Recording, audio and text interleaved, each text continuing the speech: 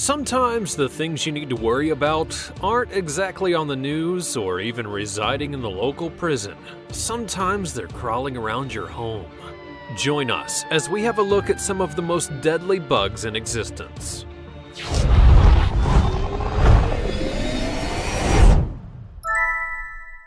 Killer bees. Now, appropriately named, these bees, also known as Africanized honeybees, can take down a human.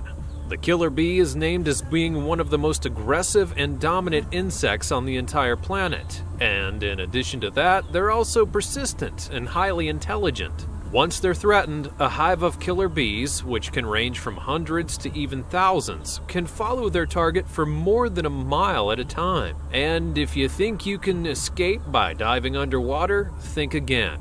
They're exceptionally patient, and when you come up for air, they're going to be right there waiting for you. When they do catch up to their target, they're going to sting it repeatedly, usually in the face and the eyes. While getting stung by one or two probably isn't a big deal, unless you're allergic, of course, problems arise when you become swarmed by them.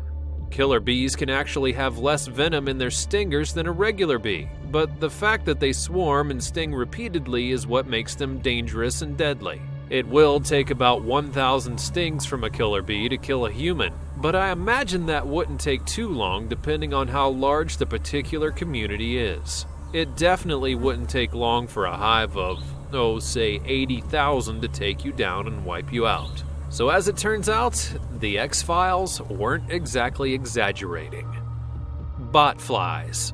Now, you may have heard about the botfly before in some of our other videos, but did you know that they can also be deadly? In case you missed it, botflies will lay eggs on an animal or a human skin, and the eggs then work their way under the surface, after which they will mature into larvae. Then they're going to wiggle their way out from underneath the skin, often feasting on the flesh for nourishment and creating a large, gaping, oozing wound in their wake. While they may not always be the cause of death, they can release a toxin into the animal's body if squished during removal, sending it into shock.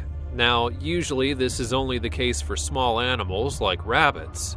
But if you successfully remove the botfly larvae without squishing them, there's also the risk of a bacterial infection, which can come from the larvae itself or leaving the gaping wound untreated. And if the host doesn't receive antibiotics, the infection can kill them in a matter of months. While they mostly attack animals, they're happy to make a human their host as well. Looks like it's time to break out those fly traps.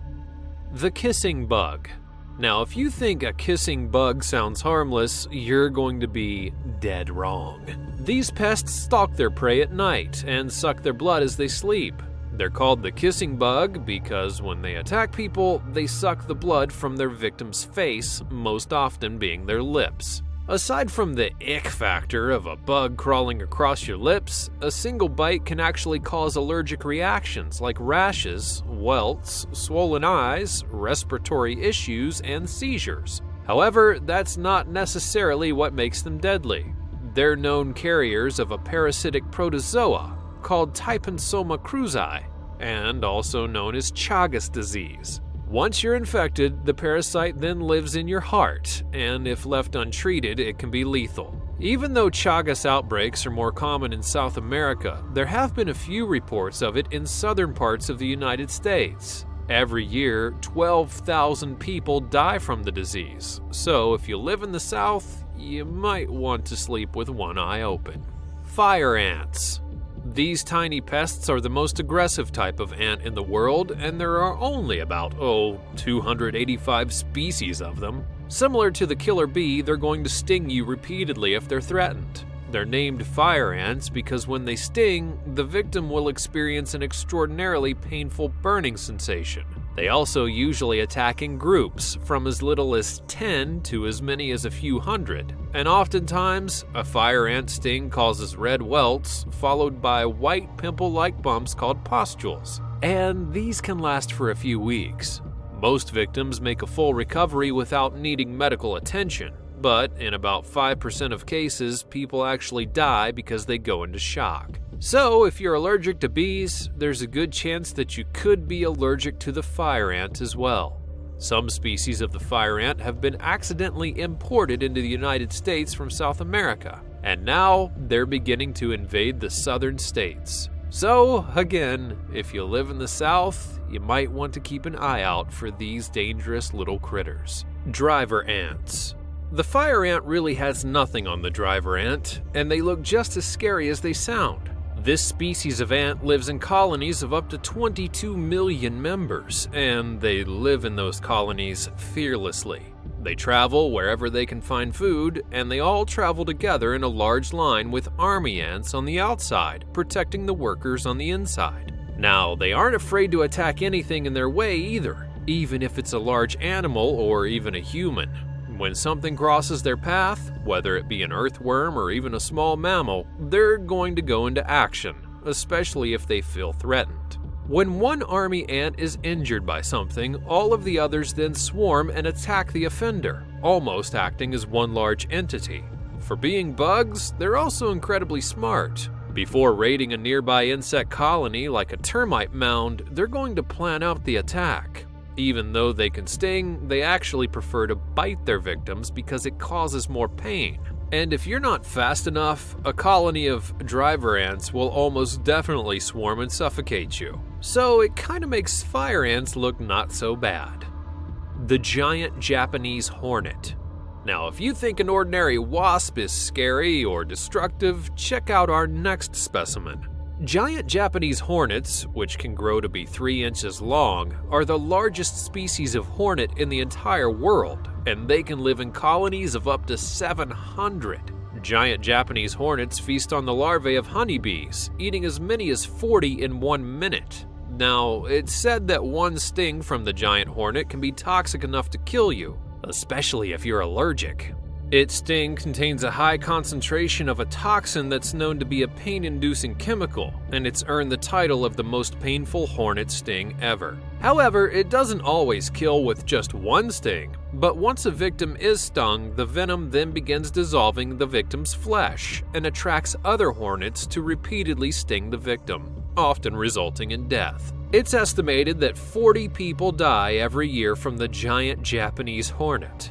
They aren't usually aggressive, but once you upset or threaten them, they then show no mercy. Needless to say, it's probably best to steer clear from a giant Japanese hornet nest. The tsetse fly.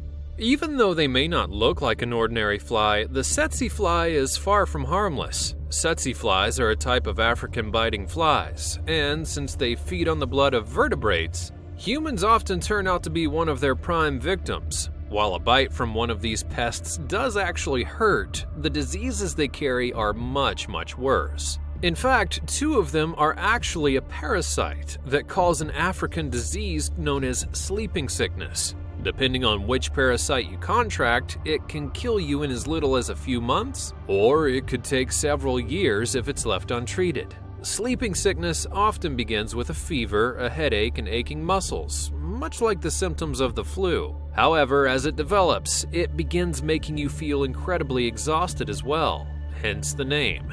In advanced stages, it can infect the brain, causing personality changes, confusion, and even poor coordination. And once the infection gets in, there's very little chance of survival.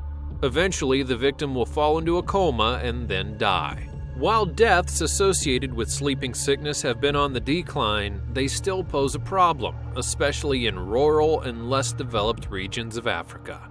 Deer ticks. While deer ticks do get their name from their lifestyle of feasting on the blood of deer, they can also find their way onto people as well.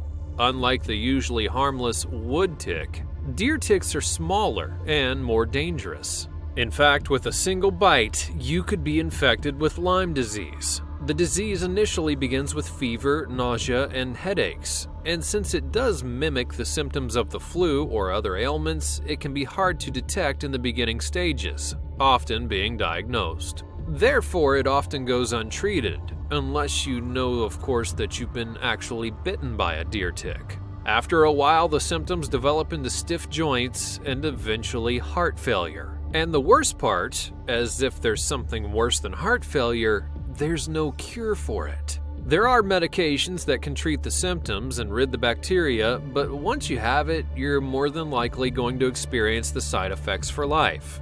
What's even scarier is that most doctors, along with the CDC, don't even believe in chronic Lyme disease, despite many patients that claim they still don't feel well months after the antibiotic treatment. The CDC also is going to claim that death by Lyme disease is not uncommon. Now, I'm not entirely sure what could be more terrifying the disease or the lack of treatment options for recurring symptoms. Mosquitoes. Now, who would have thought that the deadliest insect in the entire world is the same creature that you encounter every summer in your backyard and on camping trips? And who would have thought that those itchy, irritating bumps on your ankle might be the least of your problems? Well, it is true, mosquitoes are the most dangerous, deadliest insect in the entire world. That's because they're responsible for at least 1 million deaths per year.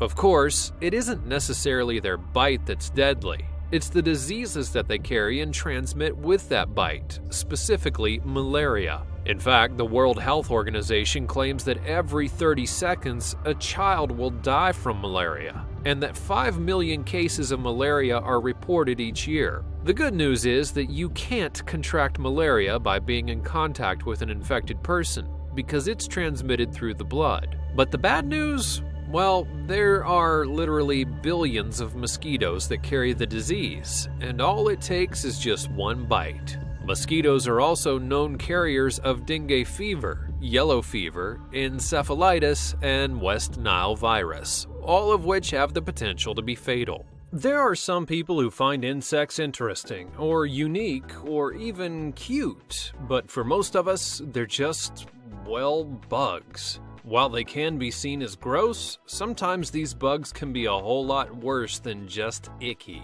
Coming up, colonies of superhives, biblical style plagues, near fatal crashes, and more. Join us as we take a look at some of the worst insect invaders ever.